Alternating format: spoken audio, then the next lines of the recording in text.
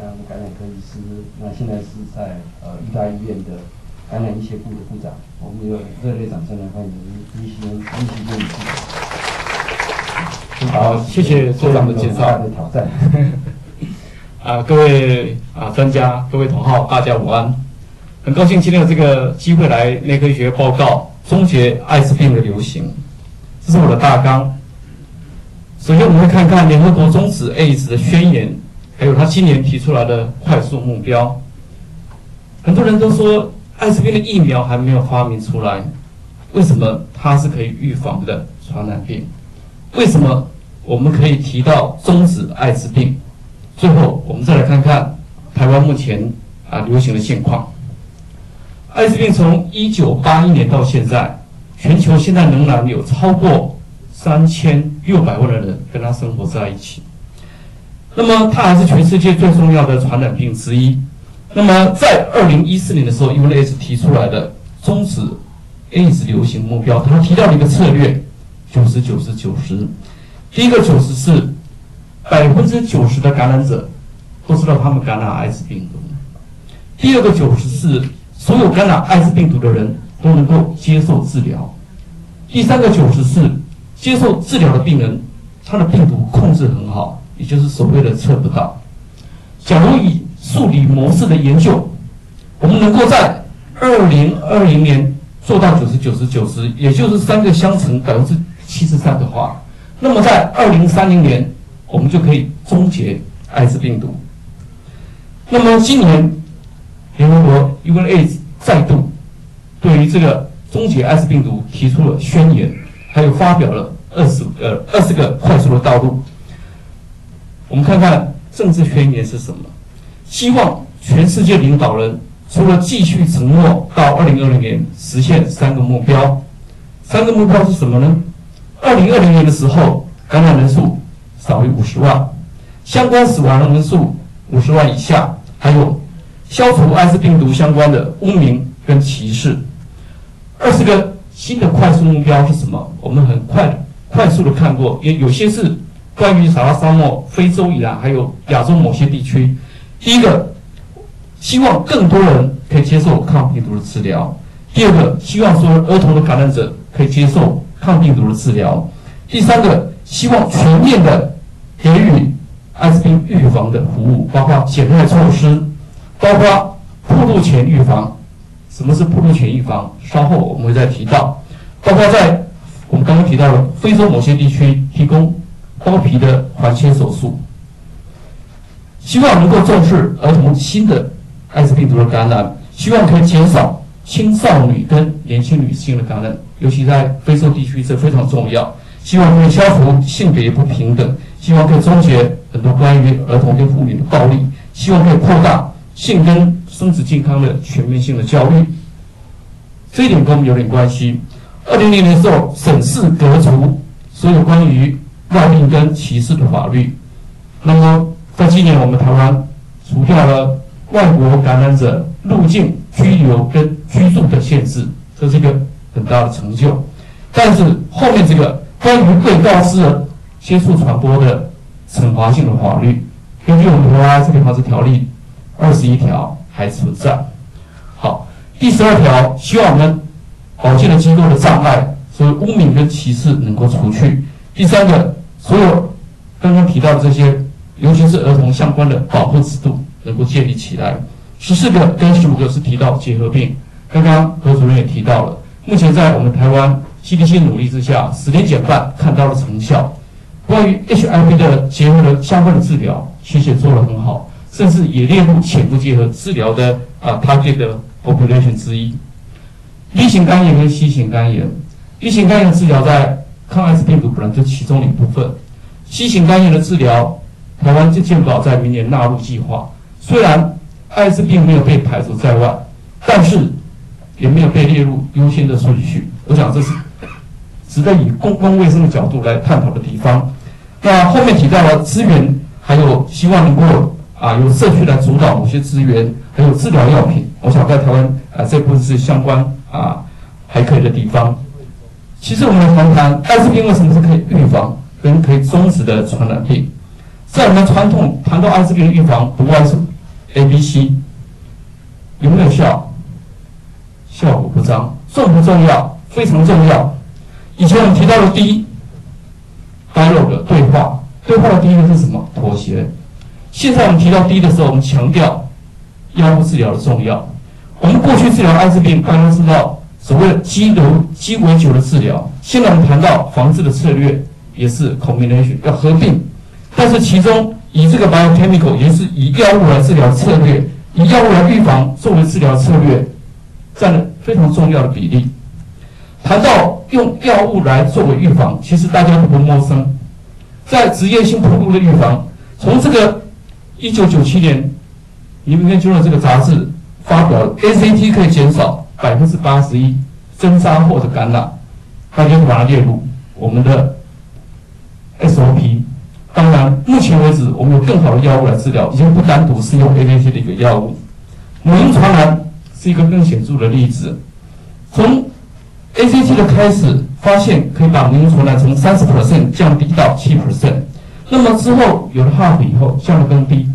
目前，如果一个妈妈接受很好的抗病毒治疗，那么 baby 生下艾滋病感染机会是小一 percent，趋近于零的。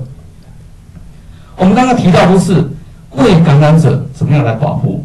那么我等一下会提一下 PEP 跟 PEP，也是基于为感染者，但是是性行为的预防措施。这里是所有的性行为。之后的预防性措施跟刚刚职业性暴露相当，虽然这些研究都不是很严谨的啊，double blind 的这个 control study，但是从他们结果看起来，服用药物的保护措施都是在九十 percent 以上，尤其是如果有好好服药的话，那么所以 WHO 跟美国的 ISUSA 都建议，如果在不安全的性行为以后是可以服用药物来预防艾滋病的。那么事前的预防呢？其实相关的研究在二零一零年才开始，但是隔年美国 CDC 就建议，事前的预防在某些有危险性行为的同性恋族群是可以使用的。那么之后也在异性恋的族群也可以使用，所以很快的，事实上有很多的概念都把事前预防列入了概念里面。那么我们台湾 CDC 今年也开始推行。那么第一个研究是关于事前预防是 iPrep，它是两千四百九十九位男同志的相关的研究。研究的结果显示，可以减少百分之四十四的感染风险。再看下一个是 Partner 的 Prep 研究，这是在一个异性恋的研究，可以看到在。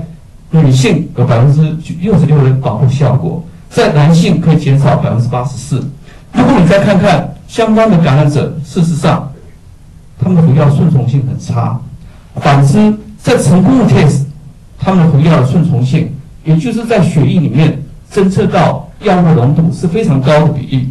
所以，事前服药的成功的关键在于病人的顺从性好不好，也就是你有没有好好的服药。假如病人的顺从性很好，那么成功率非常好。假如你的顺从性不好，那么当然你就没有办法得到保护的效果。所以这些研究，我们刚刚提到的，它的成功可以保护的比率，如果再把药物的浓度考虑进去，事实上将近百分之八十五到九十有保护的效果，这是非常显著的。那么当然，在有两个相关女性的研究是比较低的。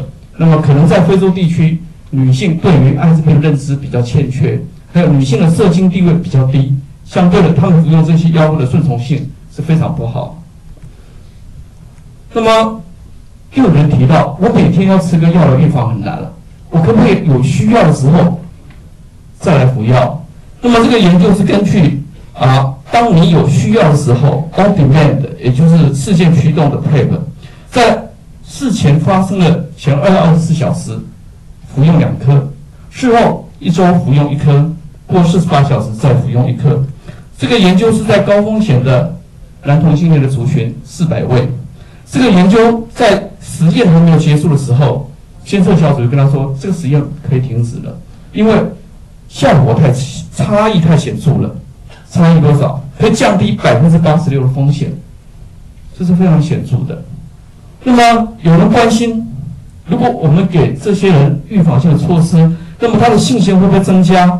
他的性伴侣会不会增加？他的无套的肛交或者接触性肛交会不会增加？看起来有增加一点，但是没有显著上的差异。另外，关于其他的性传染病，包括皮衣菌、淋病、梅毒、细型肝炎或任何的性传染疾病，的确看起来有高了一点，但是统计学上是没有意义的。那么，关于抗药性，也有很多人担心。目前的研究显示是很低的。那么，在这两个研究是没有的。所以，在美国 CDC，他对于相异伴侣，他认为是可以考虑。所以，相异伴侣就是一个。伴侣是阳性，另外一个阴性。那么当然，在某些高危险的啊特定的对象是可以啊赞成来服用。我们刚刚提到的是未感染者，如果是一个感染者呢？如果这个感染者他没有服药的话，他会把病毒传染给其他的人。如果我们给他服药的话，就形同戴了一个保险套一样，他就不会传染给其他的人。这就是治疗等于预防的一个理论。其实早在一二两千两千年的时候，在非洲的一个研究就显示，不管是红色的男性给女性的性传染，或者是我们看到比较黄色的女性给男性的性传染，他们传染几率跟病毒量的高低是成正相关的。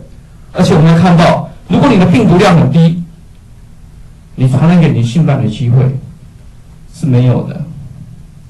在加拿大有一个观察性的研究，如果这个地区服用病毒药物的人越来越多，那么他艾滋病新增加的案例就越来越少。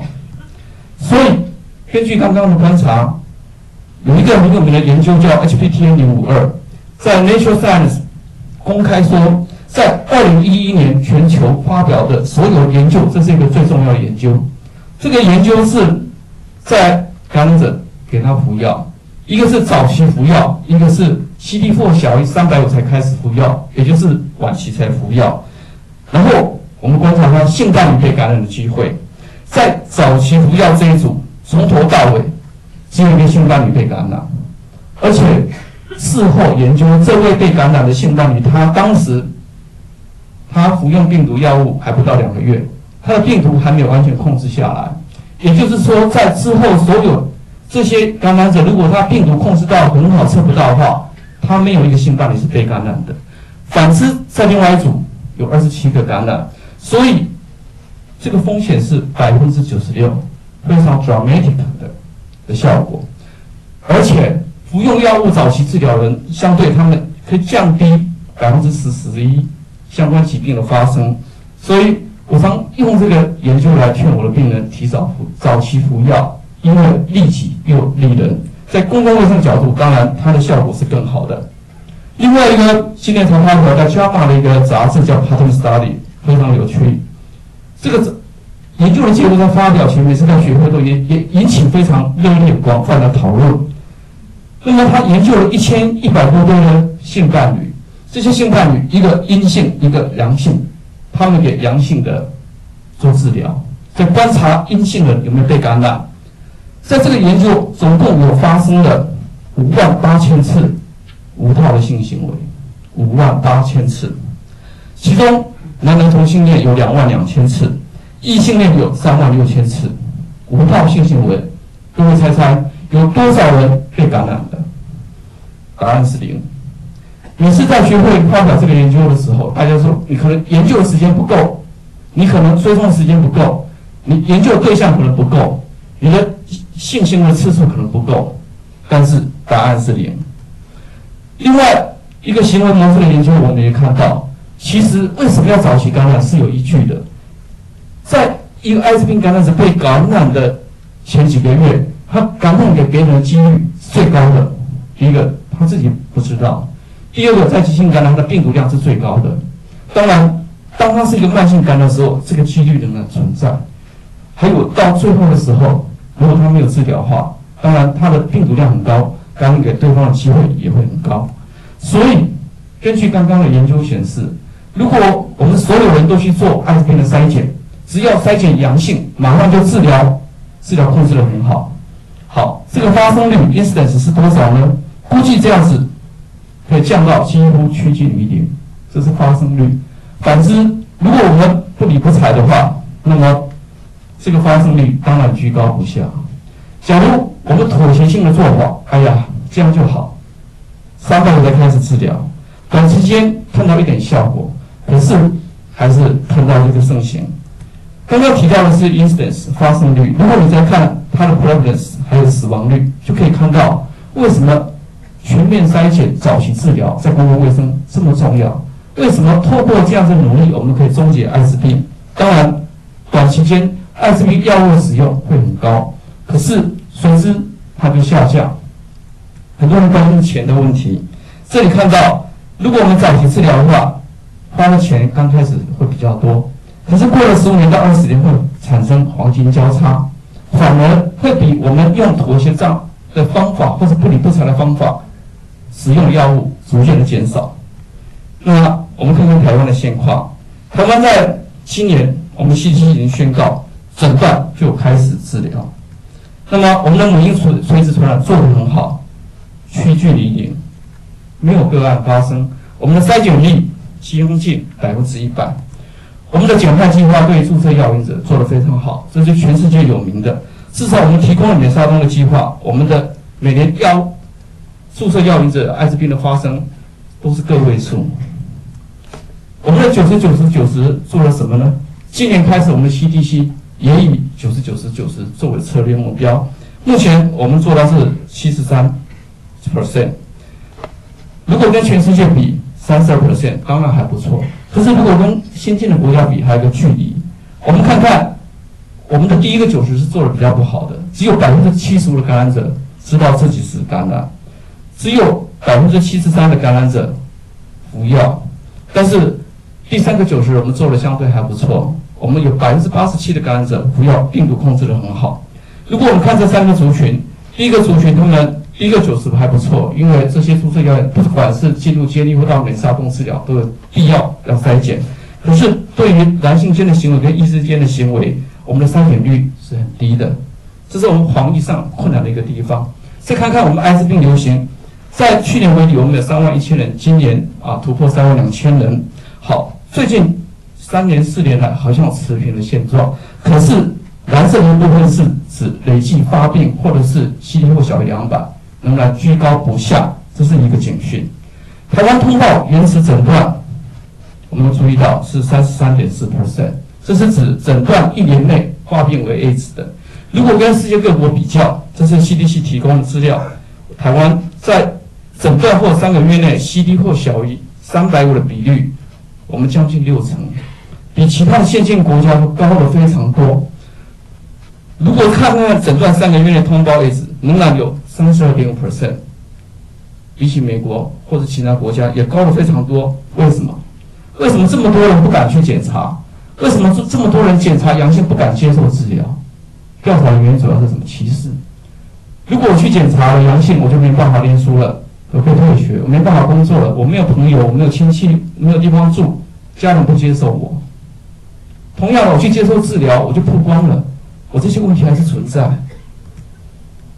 我们 CDC 从今年开始六月推出了三个 single tablet regimen，单独每天一次一颗，在治疗上，我们可以说改进了许多。对于后面两个九十，我相信是非常帮忙非常大的。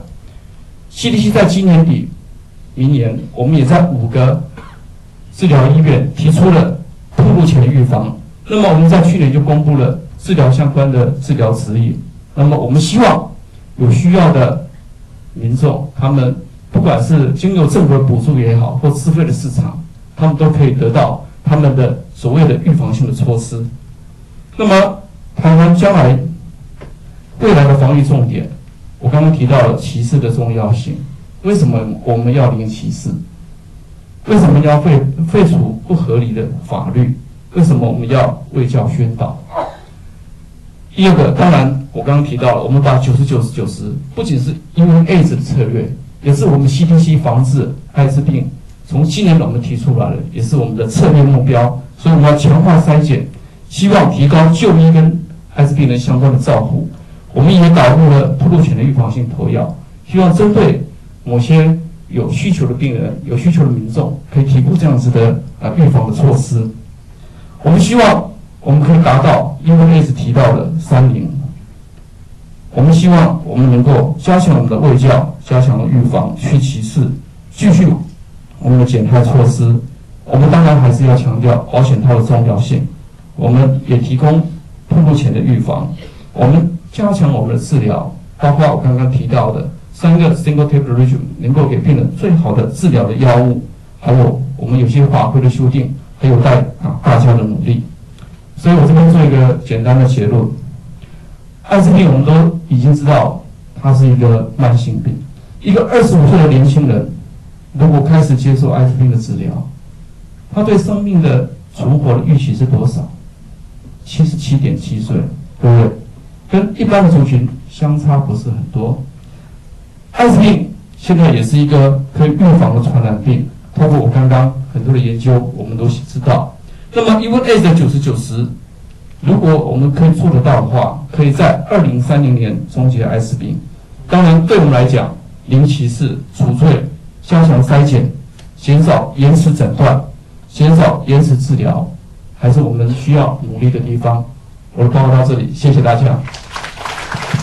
好，我们谢谢林启军主任的报告。啊呃，我想我们还是呃把它都讲完了以后，我们最后再一起来问问题。啊。嗯，下面我们来介绍。